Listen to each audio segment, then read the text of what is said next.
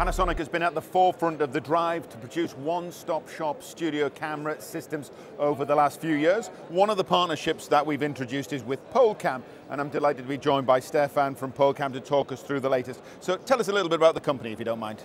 Well, Polecam is a 20-year-old company as of the last few months.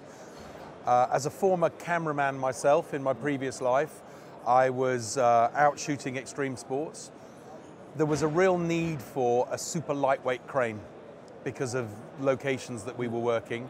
And long story short, ended up with a windsurfing mast, a carbon fiber windsurfing mast, put a mini cam on the end, and started getting some quite unique shots.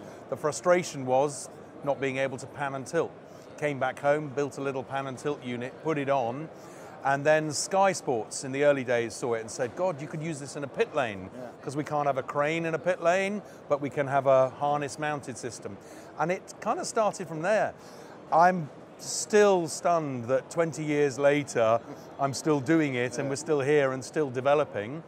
And um, I'm loving it every step of the way. Well, so both Panasonic and Polecam started off life in a garage, which is, yeah. amazing. Very much so, so. How are we collaborating nowadays? So really, it's this whole development within our industry.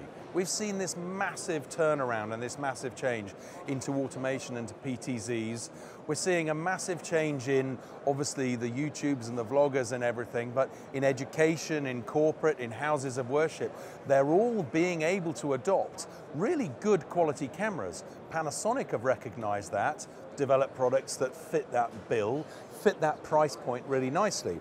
But with pan, tilt and zoom, that's it. It's pan, tilt and zoom. And there was a real need that they looked for, for that fourth dimension of being able to raise the camera up and down, whether it be in a house of worship when the congregation stood up, or just to get that dimension of movement. So we'd actually developed the Autopod. They saw it and came to us and said, can we have it a little bit more Panasonic friendly? So in simple terms, that's what we did. We have the ability to put the leg here, the leg can be doubled up and make a double leg to go extremely high. It's got what we call a stroke length of 55 centimeters to 125. It actually sounds quite a lot, but then when you see it on the stand and you see it moving, it looks really impressive. It genuinely gets that camera from amongst the crowd to way above head height, and that's what makes a huge difference. But what was so fun about working with Panasonic is they were coming to us and saying, yeah, but what if we want to hang more than one camera on it? And we don't want the camera positioned on top, we want it underslung. So we built a T-bar for them, which is what you'll see here.